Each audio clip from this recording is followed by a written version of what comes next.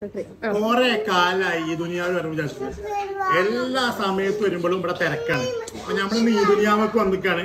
ഒരു first starter ആയിട്ട് വന്നത് ഗോൾഡൻ പ്രോൺസ് ആണ്. കഴിച്ച് ഇഷ്ടപ്പെട്ട് നമ്മൾ വീണ്ടും ഓർഡർ ആണിത്. എല്ലാവർക്കും ഇഷ്ടമായി കുട്ടികൾക്കൊരു ഇഷ്ടമായി ഐറ്റം അടുത്ത എനിക്ക് ഏറ്റവും ഇഷ്ടപ്പെട്ട ഈ ഒരു ഐറ്റം ആണ് കേട്ടോ ഒരു ഫിഷിന്റെ മിക്സർ ഐറ്റം പൊറോട്ടയിൽ അതുപോലെ തേങ്ങാപ്പാലൊക്കെ മിക്സ് ആയിട്ട് അടിപൊളി ഐറ്റം അവിടുത്തെ മസ്റ്റ് ട്രൈ ഐറ്റം ഇതാണ്. ഇഷ്ടപ്പെട്ടതിൽ ഞാൻ ഏറ്റവും റെക്കമെൻഡ് ചെയ്യുന്ന ഐറ്റം ഇതാണ്. അതിന്റെ ഒരു ഗ്രേവി ഉണ്ടല്ലോ ഒരു രക്ഷയില്ല. അതിന്റെ ആ ഗ്രേവി ഒക്കെ ഭയങ്കര രസമുണ്ടായിരുന്നു. അവിടുത്തെ ഏറ്റവും ഇഷ്ടപ്പെട്ട ഐറ്റം അവിടുത്തെ പോത്ത് റോസ്റ്റ് ആണ്. അടിപൊളിയാണ് ആ പോത്ത് റോസ്റ്റ് നല്ല ടേസ്റ്റ് ഉണ്ടായിരുന്നു. ക്വാണ്ടിറ്റി വൈസ് നല്ല റെക്കമെൻഡ് ചെയ്യുന്ന ഐറ്റം ആണ് ഒരു ബീഫിന്റെ ഫീൽ ആക്കി വരുന്നത്. അതിന്റെ ഒരു ടേസ്റ്റ് ആണ് കിട്ടുന്നത്.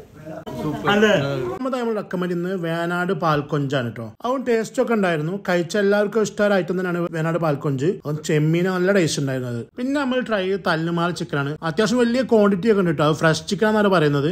ഒരു സ്പൈസി മസാല ഇഷ്ടപ്പെടുന്നവർക്ക് ട്രൈ ചെയ്യാം. എനിക്കതൊരു ആവറേജ് ആയിട്ടാണ് ഫീൽ ചെയ്തത്. പക്ഷെ വൈഫിനും ഫാരിഷാക്കൊക്കെ ഇഷ്ടമായിരുന്നു മൊത്തം ഈ ദുനിയ ഒരു അടിപൊളി ലൊക്കേഷൻ ആണ്. നമുക്ക് ഒരുപാട് ട്രൈ ചെയ്യാൻ ഒരുപാട് വെറൈറ്റി ഐറ്റംസ് അവിടെ ഉണ്ട്. അബുദാബിയിലെ ഫുഡ് ലവേഴ്സ് മസ്റ്റ് ആയിട്ട് പോകേണ്ട ലൊക്കേഷൻ ആണിത് ഒരുപാട് വെറൈറ്റി ഐറ്റംസ് അവിടെ അവൈലബിൾ ആയിട്ടുണ്ട്. മദീന സൈഡിലെ കറന്റ് ട്രെൻഡിങ് ആയിട്ട് റെസ്റ്റോറന്റും ക്രൗഡ് പുള്ളറും ഇപ്പൊ ഈ റെസ്റ്റോറന്റ് ആണ്. അപ്പൊ ഈ ഐറ്റംസ് ട്രൈ ചെയ്യണമെങ്കിൽ എവിടെയാണ് പോകണമെന്നല്ലേ നമ്മൾ അബുദാബിയിലെ മദീന സായിദിലെ ഈ ദുനിയാവ് റെസ്റ്റോറന്റ് ട്രൈ ചെയ്തിട്ട് നിങ്ങളെ ഫീഡ്ബാക്ക് അറിയിക്കാം.